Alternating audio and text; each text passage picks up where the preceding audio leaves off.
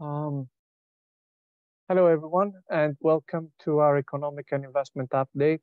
Um, I'm George Lagarias, I'm Mazars' chief economist, and we will start in a minute or two.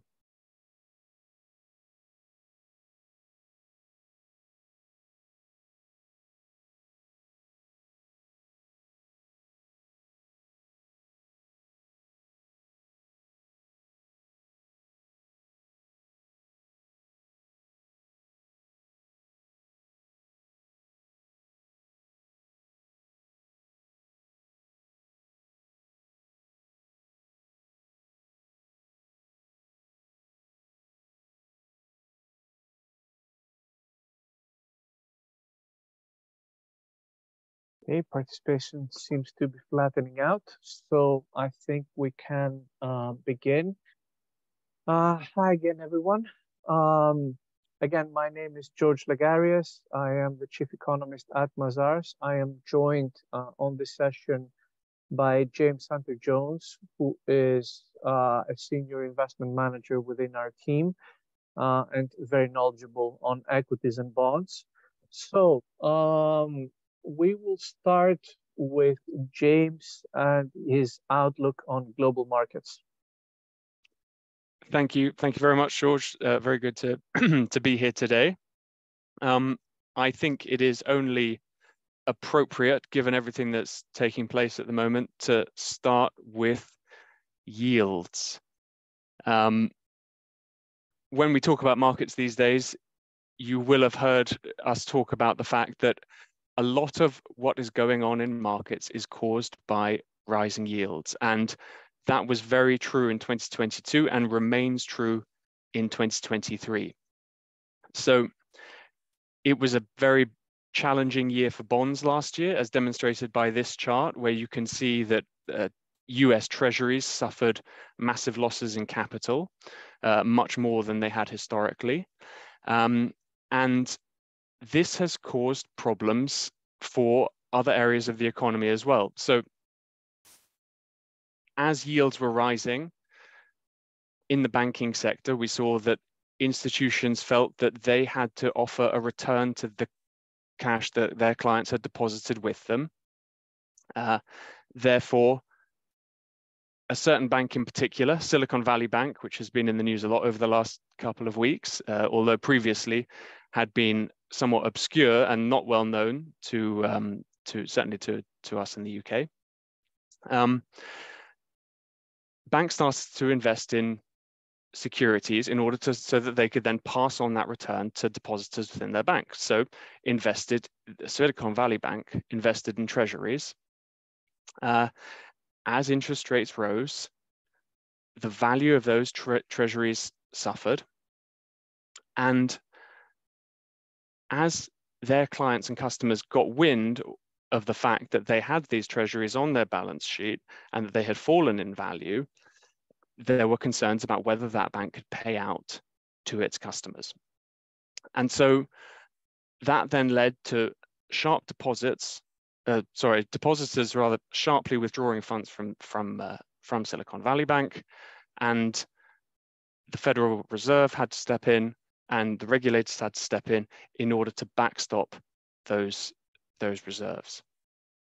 Uh, Silicon Valley Bank ultimately became um, a bank that, uh, that ceased to operate, and that has caused ructions throughout uh, the financial sector within the US market. If we could look at the next slide, please. So actually the S&P 500 has chalked up pretty good returns year to date uh, you know, 4%. And given everything that's happened, actually, you might find that quite, quite surprising, but it does hide what's been going on in other sectors. And you can see that financials have suffered approximately down uh, 8.5%, and then regional banking index down about 17%.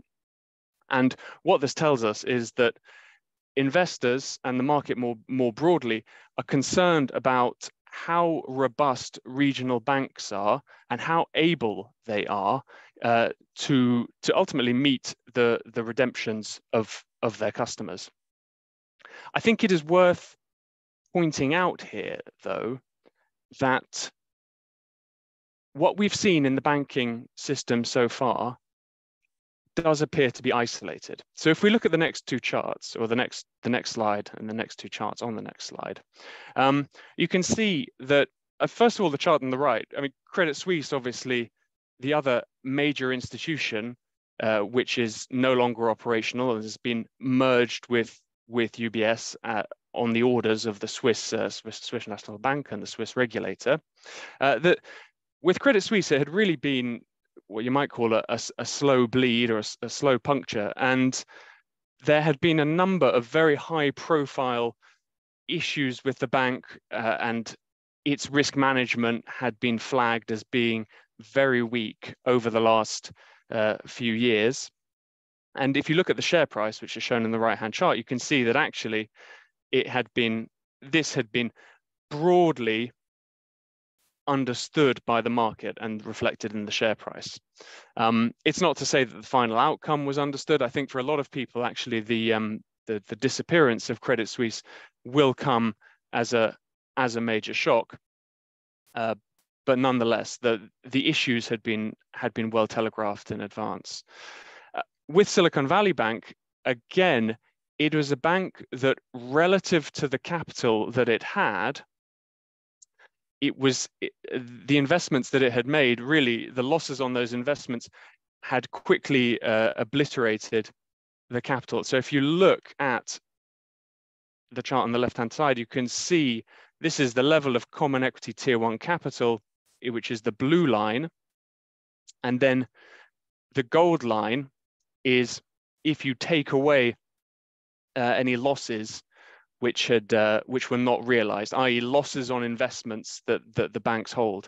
And you can see that Silicon Valley's um, Silicon Valley Bank's equity had been effectively obliterated by those losses. Whereas if you look at the other banks, they still have uh, decent equity buffers even after losses on investments held on the balance sheet. So again, we are talking about two quite quite exceptional exceptional cases with these two banks. If we could look at the next, the next slide, please. One thing that is really important, and it comes back to the first slide, and it's this idea that bonds suffered a very difficult 2022. The other side of that coin is that yields on fixed income securities are a lot higher now than they were 12 months ago, 14 months ago. Um, and that is going to change the dynamic of bonds in a portfolio because when interest rates rose from from zero it caused a sell-off in bonds and it also caused volatility in the equity market now when we see volatility in the equity market bonds become a safe haven and they become a place where investors can park money during in order to ride out that volatility. So I think that it's worth pointing out here that we really are in quite a different environment than we were at the beginning of last year. And therefore, a repeat of last year looks quite unlikely at this stage. If we could have the next slide, please.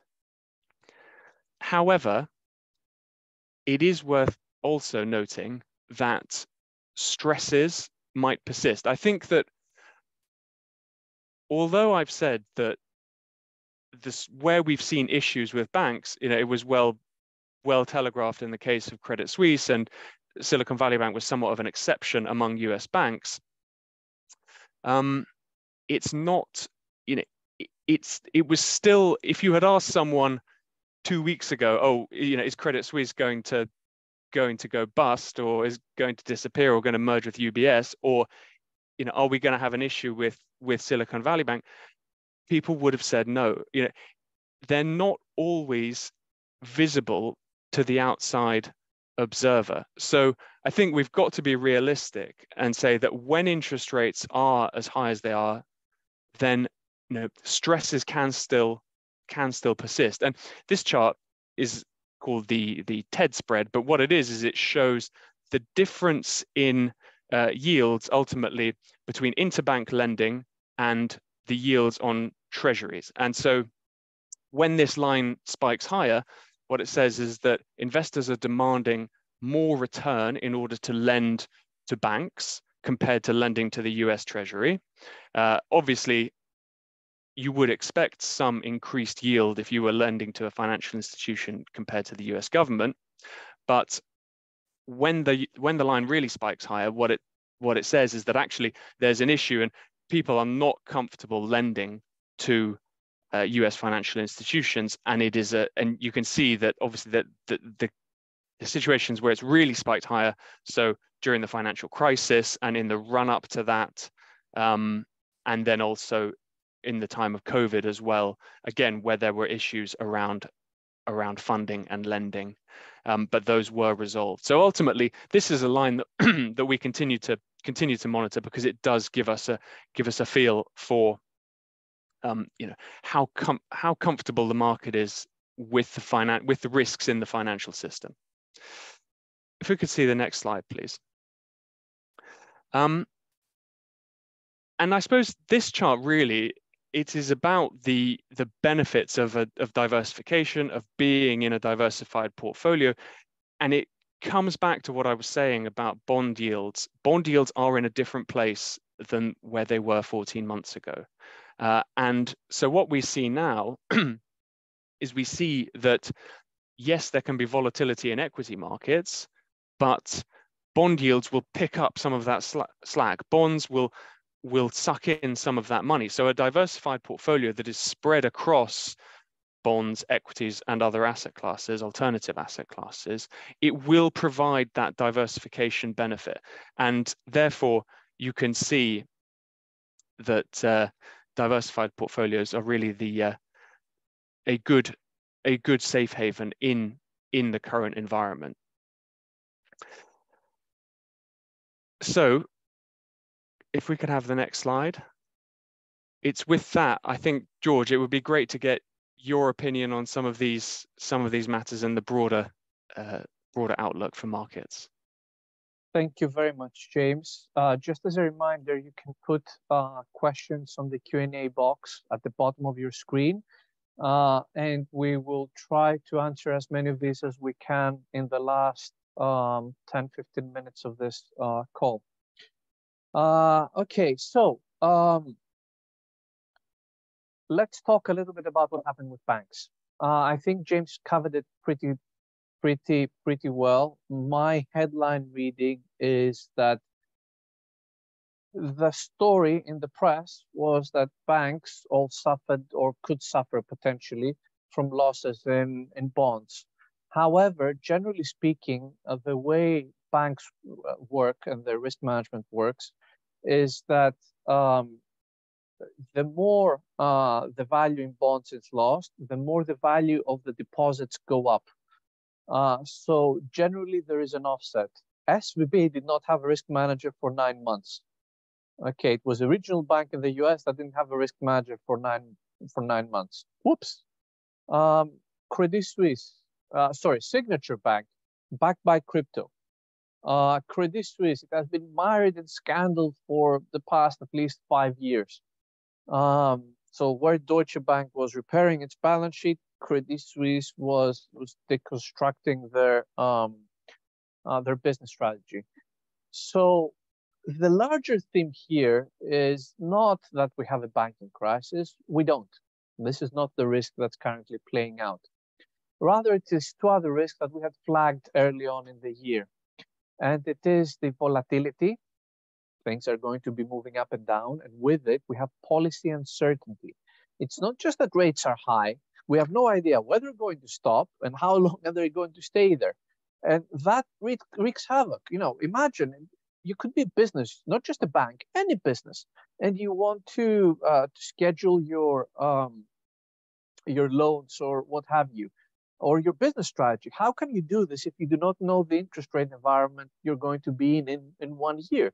Are rates going to be 5%? Are they going to be 4 Are they going to be 0 Completely different strategy around uh, each, each one. Rates are, and the cost of money is very important to any business strategy because ultimately it affects people's ability to buy your stuff uh, or your services.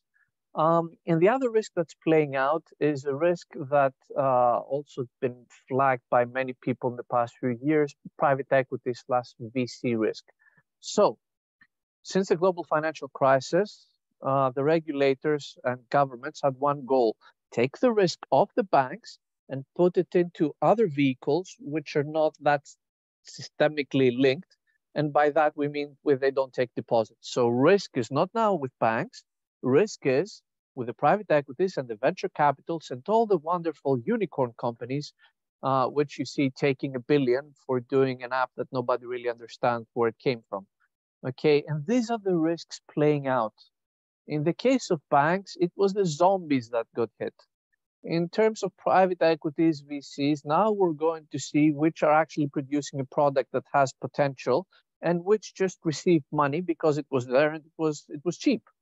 Okay, and this is the risk playing out because in terms of um, in terms of uh, Silicon Valley Bank, their clients were mostly those um, private equities and, and venture capitals, and they all had their own problems. Okay, so uh, it, it, it wasn't just their bond exposure. They had few clients. Most of them came out at the same time, and most of them were facing their own liquidity concerns. If it wasn't uh, this particular or this particular instance that SVB uh, got hit, it would have been down the road in a few months. Um, so uh, next slide, please. Um, let's see how regulators and policymakers are dealing with that. Let's talk about the Fed, which has sort of a, well, people can call it a two-pronged approach. I say it could be more verging towards a slightly schizophrenic, but we'll we'll get to that. Um, so on the one hand, they're telling markets, don't worry, the Fed put this back. What is the Fed put? The assurance that every time something important happens, we're going to pour money back into markets. So look on the left-hand uh, chart. This is uh, the blue uh, line, the blue bar is how much money the Fed had, by how much it had reduced its balance sheet, i.e. how much money it had taken away from markets in the past uh, eight to nine months, roughly 500 billion. It put back 350 billion in the last two weeks to to to shore up the financial system and it's promised another it's promised a total of 2 trillion if needs be in in uh in, in different facilities now to be fair the type of money that went out is not the same as the money that went in the Fed has not returned back to quantitative easing. These are credit lines uh, and and those sort of short-term assurances that can it, it can take back as easily as it put them back in. Okay, so this isn't forever. This sort of of loosening. We're not back in quantitative times. We can we can say that with a modicum of certainty. But for the time being, what they're saying to markets is we're here, we're strong. Don't dare to short stocks. Don't dare to to sell out bonds because we'll be here uh, flushing the system with liquidity. And that is their approach towards financial markets. But then, next slide, please, we have their approach to towards um, interest rates, consumers, and your average business. And that is, they hiked again. All of them, in fact, and they all use pretty much the same language. The Bank of England, the Fed, and the ECB. The ECB hiked twice. Um, so we had three major banks hiking after SVB had collapsed, and they all use the same language. Inflation is one thing, and the banking crisis is different. And why are they different? Because we're going to use different tools to deal with it. Um, now, here is what is important to take uh, away from the chart. And if you don't remember any other chart from this presentation, just remember this one it's not about how fast you hike rates. It's not about, um, it's not even, I, I, would argue about the, uh, the time it takes for policy to be transmitted, although the, this is important. It is about the level of rate hikes. This is what's important. And as you can see, historically, most crises in the past 30, 40 years happen around that level of 5%. Between 1994 and 2000, uh, there were four big, at least four big crises uh, that erupted around that time, uh, around the 5% uh, rate. It was the Mexican bond crisis in 1994, where Mexican bonds and the peso collapsed. It was the Asian crisis, which was a, a lot of real estate going south. It was the long-term capital management crisis. This was a fund run by Nobel laureates, some of the smartest people in the world. That went under in 1998. And then, of course, there was the dot-com bubble in uh, 1999 and early 2000. In all that time, the Fed did not lower interest rates, but they kept them high. So you had crisis after crisis after crisis. During that time, the Russian Federation failed to pay its bonds. It, it was um, uh, it, it, defaulted on its debt, Baring the the uh, the bank that the Queen had her money was sold for uh, one pound. Uh, so it, it's during those very high interest, not high, very high interest rate times that bad things tend to happen, and we're back into those. At at that interest rate is when the global financial crisis happened and the credit crunch that preceded a year before Lehman Brothers collapsed. And then, of course, you have this regional banking crisis. Um, so, what we think is that the central bankers, in their attempt to fight inflation, uh, they will keep rates up, and that will continue to create volatility for the system. Okay, so these are going to be volatile times. That's not necessarily a bad thing, especially if you have an investment portfolio. Uh, we'll talk a little bit more about that. But if you have an investment portfolio, actually, it's good to have a, a little volatility because if you've chosen your manager correctly, you can get very good returns. Volatility means people running around like headless chicken, buying that, selling that, no idea what they're doing. But the good and the patient manager will see it, it's going to be much easier for, for them to see the real opportunity okay, from a mass exodus in, in one uh, uh, in, in one sector, for example, or another. So, as an example, regional banking stocks in, in the US have plummeted, all of them, whether they're good banks or not. Some of them might be good banks. I'm pretty sure there are fund managers out there who are looking at balance sheet and they're saying, okay, this is actually a good bank. I'm going to take a bet that it's not going to suffer a bank run in the next month or two, and I'm going to invest in a stock that's now trading less than half its its book value. That kind of stuff, and you can only get that sort of, of trade or long-term investment if you have a volatile environment. If you have quantitative easing and everything goes up at the same time, then there's no ability to to to generate real alpha, as they say, to outperform the market. Um, next slide, please. Now let's get back to to the argument. We had this um, this framework a few um, uh, sorry a few months ago, which was we're trying to determine what sort of pivot the Fed would make, i.e., from being very tight on interest rates to loosening uh, interest rates and maybe restarting quantitative easing. Now there was the orderly pivot, which was our base case up until a month ago, and it said that, look, we're going to put interest rates up, nothing is going to break, and we're going to keep them high, and then just slowly um, uh, lower them back to the neutral interest rate. Now, that was the best case scenario, right? And we had the disorderly pivot, something breaks, all hell breaks loose, and central banks just rush to, to reverse policy. It, apparently, we have the fudge, which is actually a very human condition, one would argue. Um, we have not quantitative easing. I know you I shouldn't have used that term. We have um, a more accommodative balance sheet by the Fed, money printed and thrown at the markets, and higher rates at the same time. Okay, uh, to fight inflation. Now, I'm not sure whether this this is sorry. I am sure this is an interim condition and it can't last for very long. The needle will have to go one way or another and we're not yet too sure which way that will be. Okay, it could go back towards the orderly, or it could uh, more things could break, and then we could have the disorderly pivot. So this is right now the big debate going on within within our um, within our team.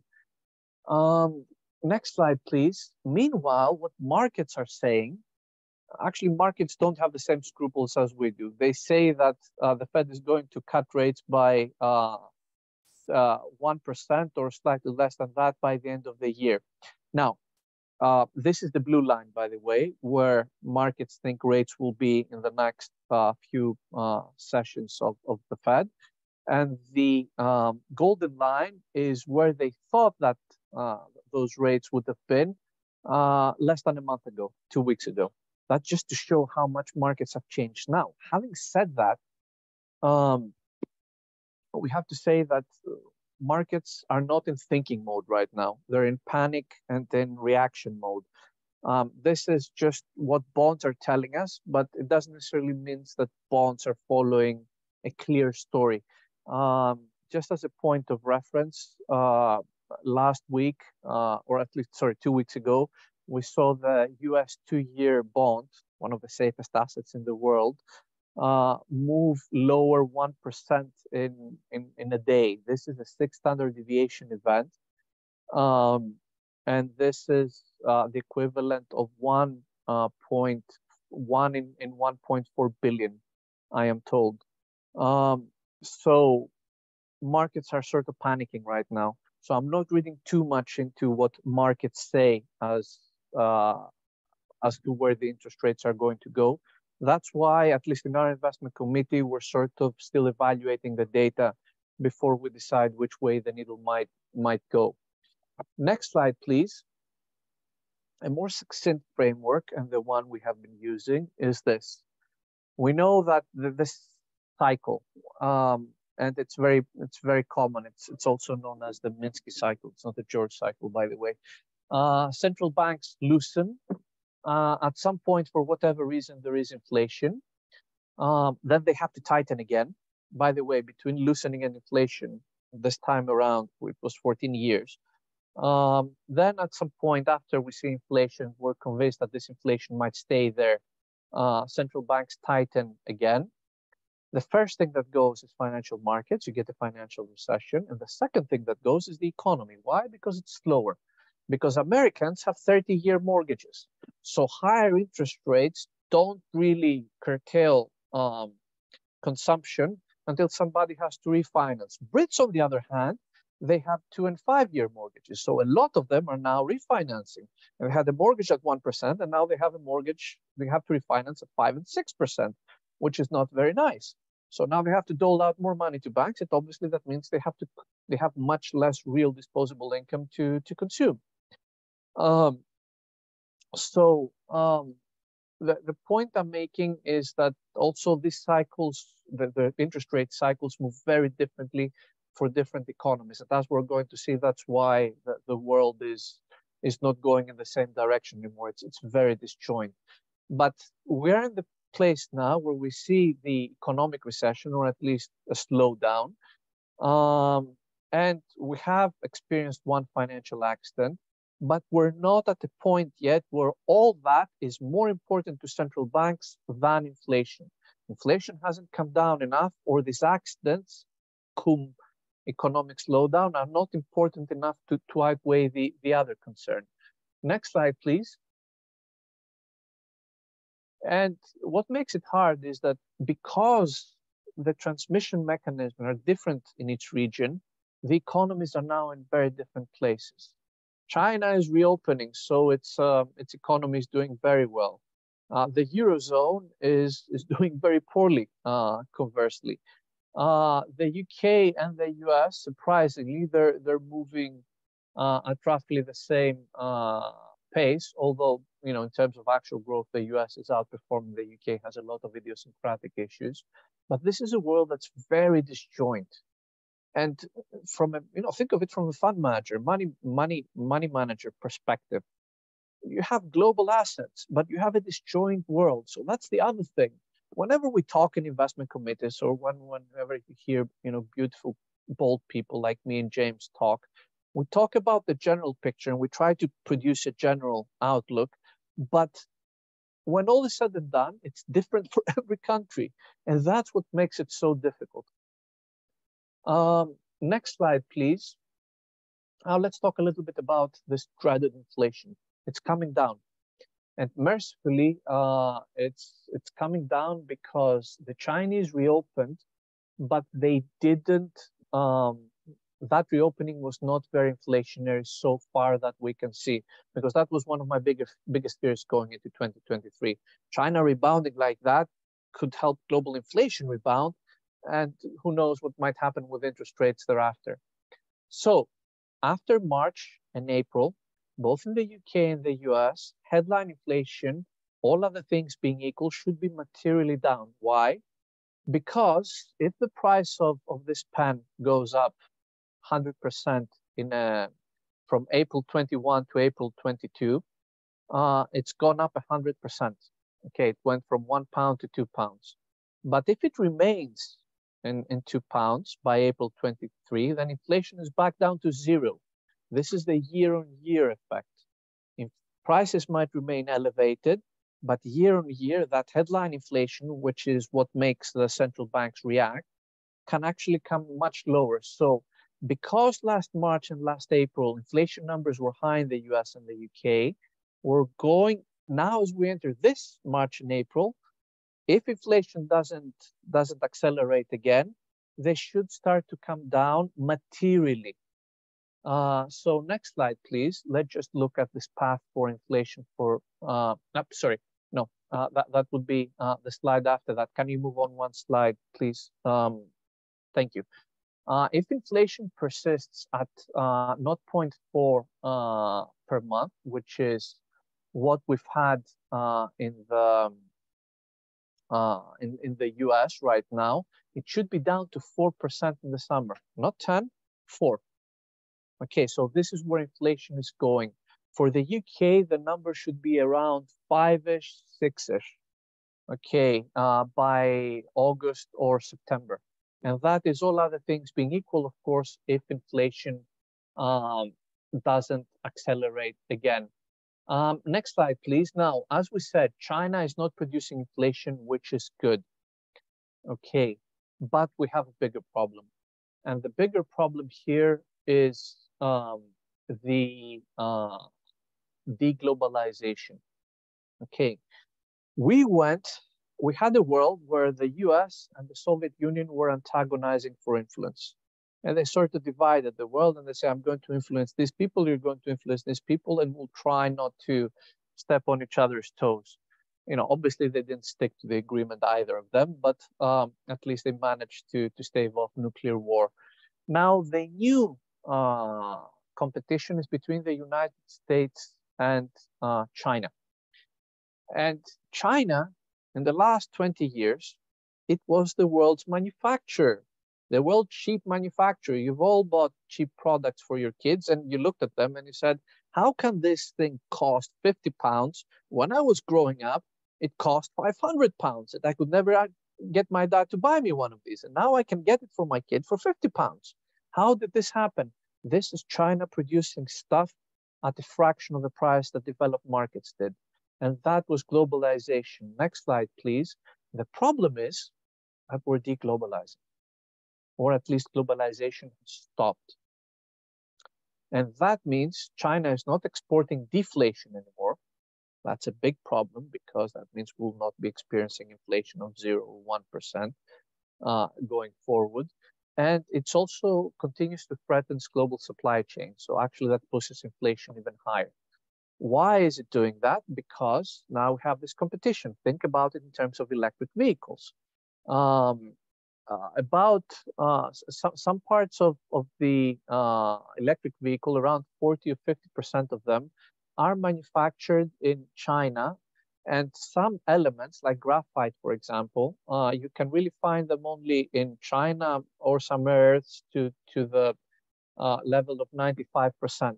But the world needs to decarbonize. We all need to be driving electric vehicles in the next 10 years, 15 years, 20 years, you know, depending on the region you're at. Um, so if China is holding a lot of those cards and we're antagonizing China, that transition might not be as smooth. And that is just one problem I'm highlighting to show you that this antagonism between the United States and China is going to lead to higher inflation and ultimately geopolitics is going to lead to, to slower growth and higher prices over the medium and long term. Okay, this is where the world is is is heading. Um, now, uh, a couple of more slides. Um, um, sorry, and the next one, please, uh, Jordan. Sorry, I'm trying to, to rush the word to finish to leave some time for questions. In the meantime, let's see what's happening in the UK. The economy is not doing that bad. It could have been worse. So we were predicting the economy is pretty much flat. We're predicting uh, that it would be 1% down year on year. Uh, now the predictions are for a flat economy throughout 2023. Having said that, the UK housing market is, is not stressed, but it's negative. Now, to a point, this is reasonable. During the pandemic, the government gave some incentives and people went ahead and bought their homes, but they did buy their homes. So, you know, those people are not going to buy a house again in two years. That demand was brought forward. So now we're facing the, the cliff edge. Um, there are reasons that the market is slightly resilient, which is that you know the, there isn't much housing available, um, and the pound has has been you know weak um, versus other currencies, especially the dollar. But uh, ultimately, the housing market is slowing down, um, and it's it's much more difficult to buy for people to to buy new homes. Their disposable income is is lower, so they can't. It's more difficult for them to make their mortgage payments, or even more difficult for them to to put in the the ten percent um, deposit. Okay, so uh, we are seeing not signs of stress, but signs of a material slowdown in the UK housing market. And as I said, inflation should be uh, should last longer than the rest of, of uh, the globe because of idiosyncratic issues well known in, in the UK.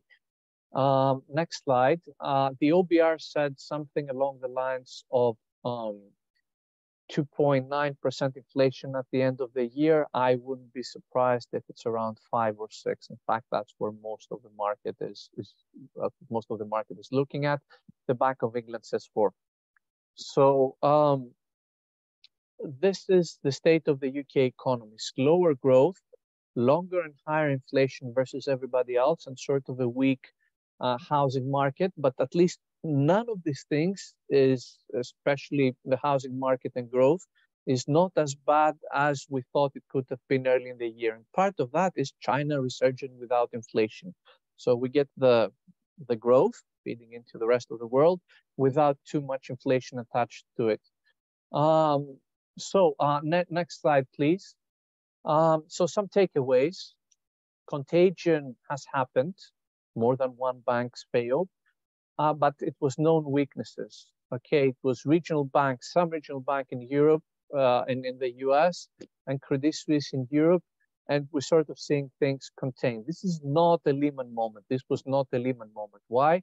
Because the global banking system is better capitalized. We don't have a credit crunch yet. Um, you know, if interest rates stay very high for two or three years, then we can discuss about the credit crunch. Bar uh, Credit Suisse, no big names have, have really suffered. Deutsche Bank was teetering, but uh, I think it was uh, th there were a few large trades apparently attached to that. Um, and the central banks have tools; they can throw money at the problem, and that money is not necessarily inflationary because they're just giving it to banks to plug holes. It doesn't reach consumers. Um, risks exist, but ultimately it will fall upon policymakers to do uh, the right thing. And the market overall is, is not fundamentally unsound. Bond yields. If you're if you have a bond portfolio or a big part of your portfolio is a bond portfolio, you get a yield now. So that's a good reason to have a good diversified portfolio. But whatever the case, and when you speak to your managers, make sure they are well positioned for volatility. I they have not sacrificed liquidity all these years to get a little higher yield, and you go into stuff that's illiquid and you can't get out. And now that you know everybody's trying to, to go for the exit, uh, you, you'll be the last one out, and that's that's usually painful. You have to find and trust the good and active managers, i.e., the thoughtful people that's what you have to look for people who are actually doing the thinking. And by that, I do not mean people who are 100% sure of anything, rather than the people who, even if you see people you know, not being sure, that's probably a good sign these days. It means they are positioned accordingly. Um, And the last thing is that a lot of people, uh, as I said, for example, some of them are going to be looking at regional banks, whereas the good managers might buy the good ones.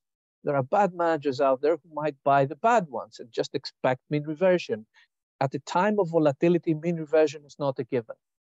Okay, so you know you don't expect to go back to the price you had for all regional banks in the U.S. a month ago. That probably will never happen. That's why you need not just to react to things or just buy anything that has fallen, but rather look to the good, active, thoughtful people. And with that, um, I will open again the conversation for some questions with the good and thoughtful Mr. James Hunter Jones. Great, um, George. Thank, thanks very much for that. Um, I think probably a good idea to kick off with quite a quite a broad question. Um, given all the, the the turmoil in markets, what do you say to the view that cash is king in 2023? With 10% inflation, the answer is no. Cash is not king. Uh, and I understand the reasoning. If volatility, if there's a lot of volatility, then cash should be king. But no, is, is the answer. The way it looks right now, good bonds with a yield are king.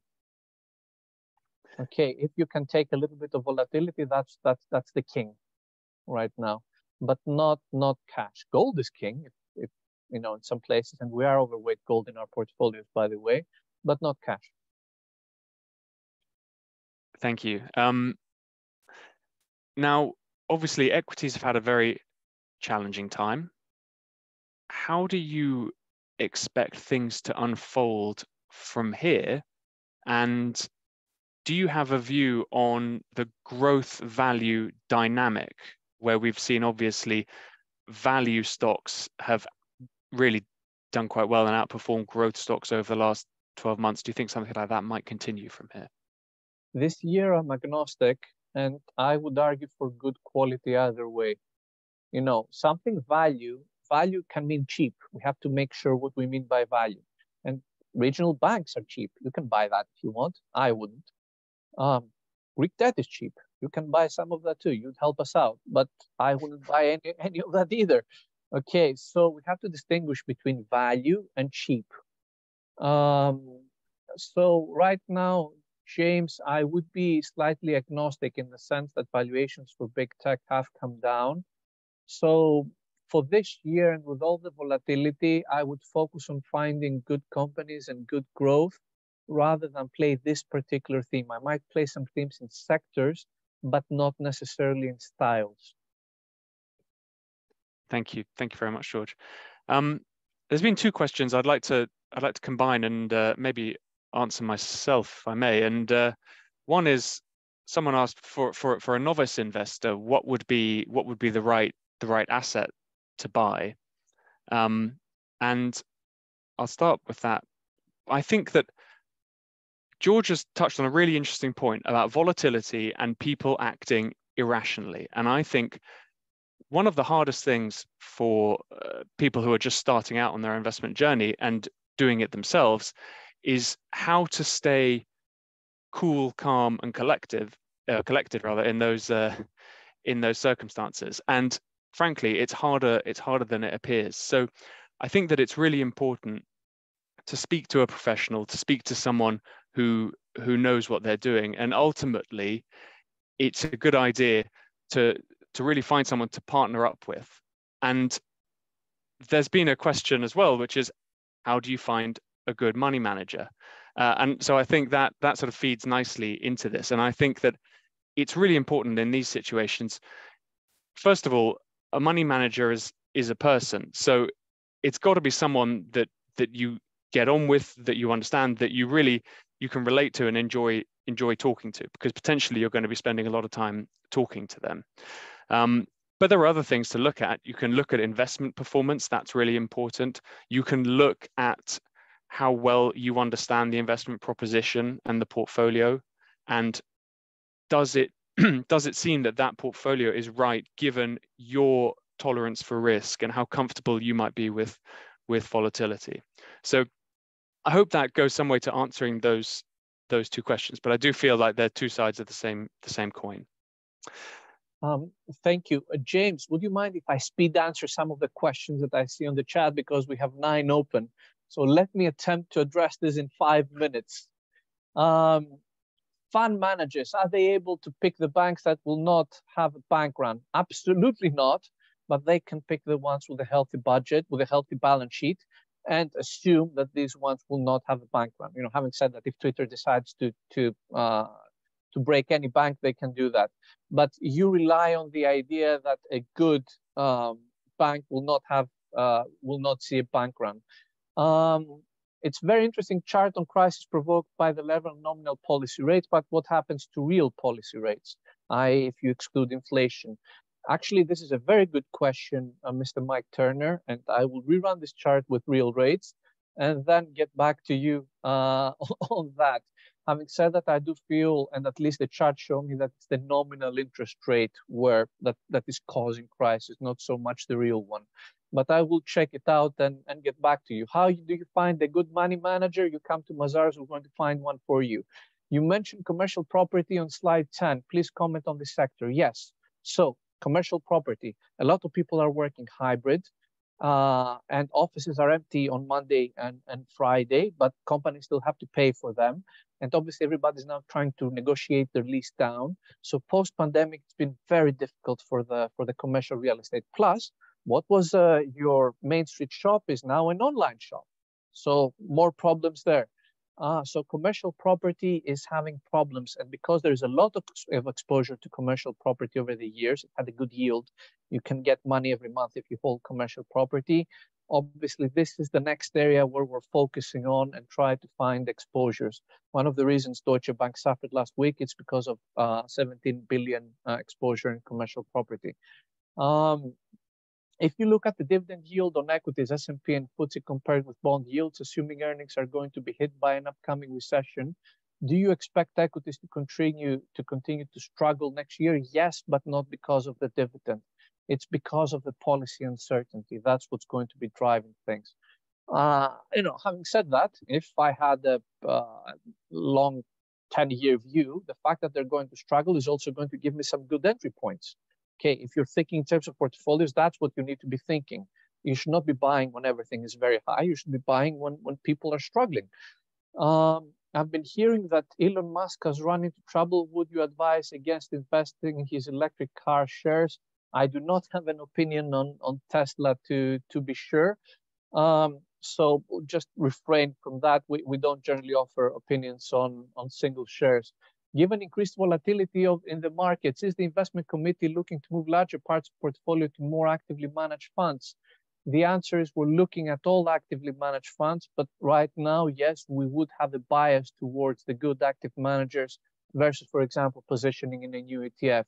Does geopolitical risk play in your thinking? Absolutely. That has been made clear in our um, uh, in our introduction, um, we care about what happens in global supply chains and how this is going to affect growth and inflation. And we understand that these decisions are political. Okay, they're just one region hitting the other region, and then things get more expensive and growth comes down. So definitely does play um, a you know a, a part. Having said that, I don't have an opinion on the war in Ukraine because I'm a very poor war analyst. Um, about a year ago, I didn't think uh, Russia would would go for it. Okay, so yes, of course, it does play uh, it does play a big role, but obviously we cannot get everything right.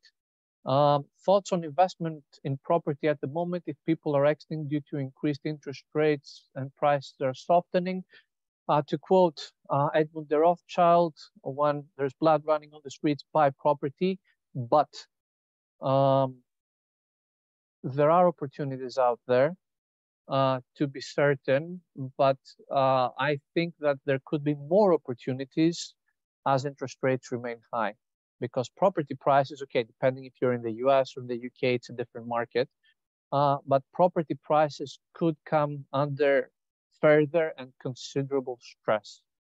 Okay, so it, it becomes a question, do you want to enter at medium valuations, low valuations, very low valuations, and how lo long do you want to wait for recovery? So it's one of those things where it's really up to the individual and it's, it's a long discussion. Yeah, the, this sort of question would have an individual answer. Um, so with this, we managed to answer all questions. Um, and feel free to email us if, if you have any more. Um, and have a very nice afternoon. Thank you very much.